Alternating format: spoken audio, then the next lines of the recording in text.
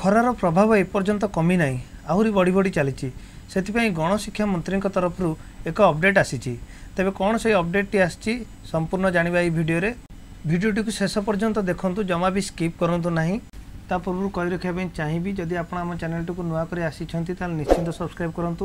Subscribe କରିବା ସାଙ୍ଗେ ସାଙ୍ଗେ ପାଖରେ ଥିବା ଘଣ୍ଟି ବଟନ୍ଟିକୁ ମଧ୍ୟ ନିଶ୍ଚିନ୍ତ ଦବାନ୍ତୁ ଯାହାଦ୍ୱାରା କି ଆପଣଙ୍କୁ ଆମ ଭିଡ଼ିଓର ନୋଟିଫିକେସନ୍ ସର୍ବପ୍ରଥମେ ମିଳିବ। ଆପଣ ସବସ୍କ୍ରାଇବ୍ କରିବା ଦ୍ୱାରା ଆମକୁ ବହୁତ ସାରା ମୋଟିଭେସନ୍ ମିଳିଥାଏ ଏବଂ ଆପଣଙ୍କୁ ଭଲ ପାଇବା ପାଇଁ ଆମେ ଆଜି ବହୁତ ଆଗରେ ଅଛୁ। ତେବେ ଚାଲନ୍ତୁ ସମୟ ଡେରି ନକରି ଯିବା କମ୍ପ୍ୟୁଟର ସ୍କ୍ରିନ୍କୁ ଦେଖିବା କ'ଣ ସେ ଅପଡ଼େଟ୍ଟି ଆସିଛି।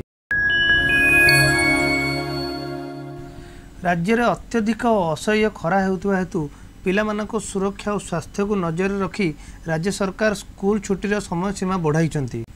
ପୂର୍ବରୁ ଜୁନ୍ ଉଣେଇଶ ତାରିଖରେ ସମସ୍ତ ସ୍କୁଲ ଖୋଲିବାର ଯୋଜନା ଥିଲା କିନ୍ତୁ ଅତ୍ୟଧିକ ଖରାକୁ ନଜରରେ ରଖି ରାଜ୍ୟ ସରକାର ଏହାକୁ ଦୁଇ ଦିନ ବଢ଼ାଇ ଜୁନ୍ ଏକୋଇଶ ତାରିଖ କରିଛନ୍ତି।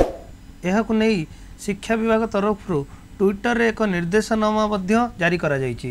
ତା ସହିତ ଆଉ ଏକ ଅପଡେଟ୍ ମଧ୍ୟ ଆସିଛି ଯେ ଖରାର ପ୍ରଭାବ ଆହୁରି ତିନି ଦିନ ପର୍ଯ୍ୟନ୍ତ ଏହିପରି ରହିବ। ଯଦି ଖରାର ପ୍ରଭାବ ଆହୁରି ବଢ଼େ ତାହେଲେ ଛୁଟିର ସମୟସୀମା ମଧ୍ୟ ଆହୁରି ବୃଦ୍ଧି ହେବାର ସମ୍ଭାବନା ରହିଛି।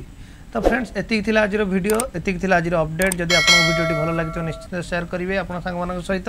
ଆମ ଚ୍ୟାନେଲଟିକୁ ଯଦି ସବସ୍କ୍ରାଇବ୍ କରିନାହାନ୍ତି ତାହେଲେ ନିଶ୍ଚିନ୍ତ ସବସ୍କ୍ରାଇବ୍ କରିବେ। ରହୁଛି ଜୟ ଜଗନ୍ନାଥ ଜୟ ହିନ୍ଦ।